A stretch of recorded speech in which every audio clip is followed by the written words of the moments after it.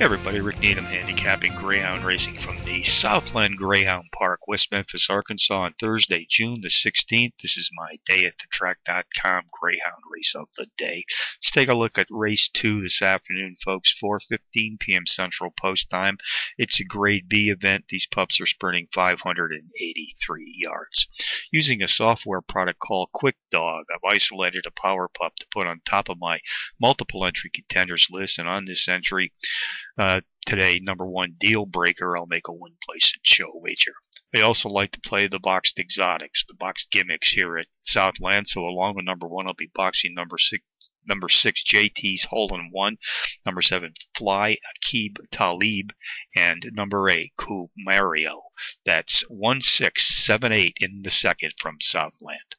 Quick Dog Software has helped me isolate a pair of very playable Power Pup long shots. I'm going to suggest win, place, and show wagers on both of these entries. First comes in race three, win, place, and show in a six to one shot. Number seven Slatex Colton, and in race seven, win, place, and show in a four to one shot. Number one Bart's Stars and Bars.